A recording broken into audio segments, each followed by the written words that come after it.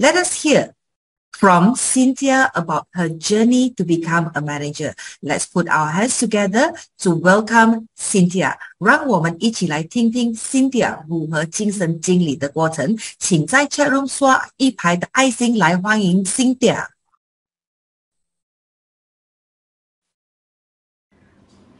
自从开始也跟领导做规划工作后，更明确所有的大目标都取自于自己行动的开始。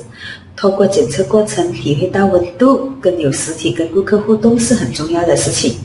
从以前会抗拒见顾客，到现在发现原来近距离和顾客互动后，成交率几乎达到百分之百的有效。